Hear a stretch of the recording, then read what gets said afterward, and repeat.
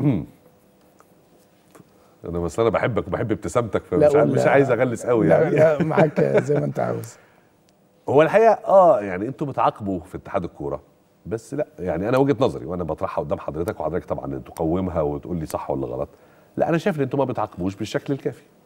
أنا ديكتاتور بقى سيدي شوية معلش بس في النهاية ال ال من أمن العقاب دي قاعدة كلنا اتعلمناها من أمن العقاب أساء الأدب. تمام. لا. في ممارسات يعني إحنا دلوقتي عندناش جمهور؟ ففاضل بس اللي موجودين عناصر اللعبة سواء لاعب سواء حكم سواء مدرب أو جهاز فني سواء مجلس إدارة. كلام محترم.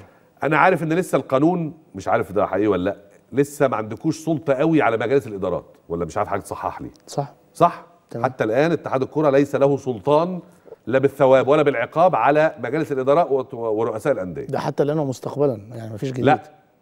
لا ما تفلهاليش معايا كده هقول لك كمان شوية مستقبلا دي تتعمل إزاي. طب ماشي. لكن حتى اللحظة دي تمام. ملكوش سلطان مفيش قانون يحاسب من قبل اتحاد الكرة رؤساء الأندية ومجالس الإدارة. تمام. صح؟ تمام. فدي خليهم على جنب. باقي عناصر اللعبة بقى من لاعبين وأجهزة فنية. لا يا كابتن ثروت آه، يعني مش عايز أقول في شوية آه، استسهال كده في العقوبات لا مفيش ردع.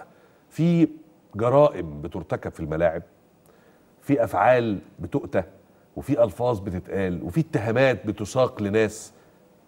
والعقوبة أنا في رأيي وهي إيه ماتشين ولا ثلاثة خصوصا بقى لما تكون متكررة بنفس الشخص للمرة ال 712 ألف بعد المليون. طب أمال الردع يجي إمتى؟ هفضل برضو كل مرة أديله ماتشين؟ تمام. أنا خلصت سؤالي خلاص. بص يا باشا. وما حبيتش كمان أقول أسماء عشان ما أحرجكش. خليك لا خالص بالعكس. بس أنا عاوز أقول لحضرتك على حاجة.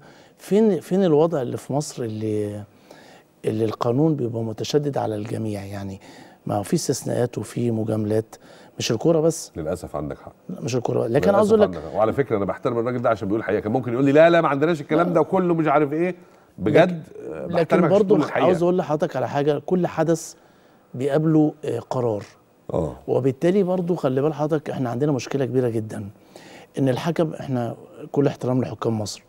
ويمكن أنا كنت دايما أقول للحكام أنتوا اللي بت... أنتوا اللي بتسيروا لنفسكم. حكام محترمين جدا. لكن بتشوف انت بنفسك بعينيك كده تامر بيه في ماتش كورة؟ الحكم بيتزق الحكم بيتهان. آه. وتيجي تبص التقرير اللي الحاج عامر حسين بياخد قراره ما بيلاقيش حاجة مكتوبة في التقرير. التقرير- الحكم ما بيكتبش ده في تقريره؟ أنا بقول لحضرتك الحقيقة. يا نهار أبيض. فبتيجي انت حضرتك تقول إيه؟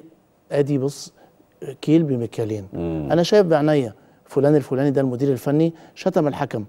وفي نفس الوقت كان في مدير فني قبل كده شتم الحكم بس خد 8 ماتشات وده ما خدش غير ماتشين انت لجنة المسابقات أنا مش مجاملة لعامر حسين عامر حسين من الشخصيات اللي ما أعرفش يجامل حد حتى اولاده تمام. لكن هو برضو تقريره أو أو أو قراره بناء على تقريرين تقرير الحكم وتقرير مراقب. المسابقات لما ما يكتبش المراقب المسابقات ودايما برضو خلي بال حضرتك.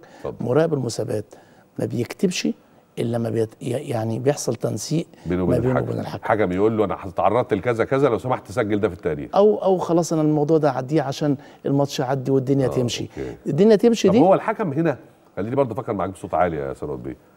الحكم هنا بيعمل كده ليه؟ يعني أنا دلوقتي حكم ولعيب سبني ولا زقني ولا مدرب بره شتمني أو زقني أو عملنا أو كذا أو حصل أي نوع من أنواع المخالفة. هل أنا مثلا ما بكتبهاش؟ الطبيعي إن أنا أكتبها لأن أنا عايز اللي عمل فيا ده بدل ما آخد حقي بدراعي توقع عليه العقوبه تمام. ما بعملهاش عشان ما يتقالش إن أنا حكم. عملت مشكلة في الماتش وبتاع فبعد كده يعني آخد تقييم أدنى وما آخدش مباريات مهمة؟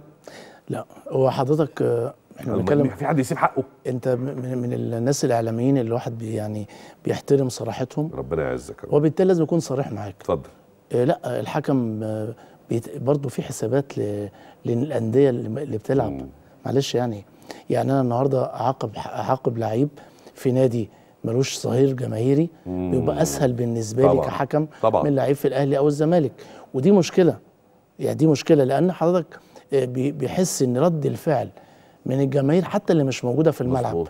من الإعلام صح. فبالتالي هتلاقي في بس ده غلط يا ثروت بيه أنا بقول غلط. لا أنا معاك وأنا بشكرك على صراحتك لأن ده غلط كمان لأنه لو ده موجود في دماغ الحكم ده هينعكس كمان على قراراته الفنية. بينالتي. يقول لك أنا لو حسبت بينالتي على الزمالك أو على الأهلي. إعلامهم هيوجع دماغي وجمهورهم هيوجع دماغي ومدربهم هيوجع دماغي. لكن لو على المقصة ولا إنبي ولا بتاع بالكتير هسمع كلمتين والموضوع هيعدي لأن مفيش جماهير ومفيش إعلام ومفيش بتاع.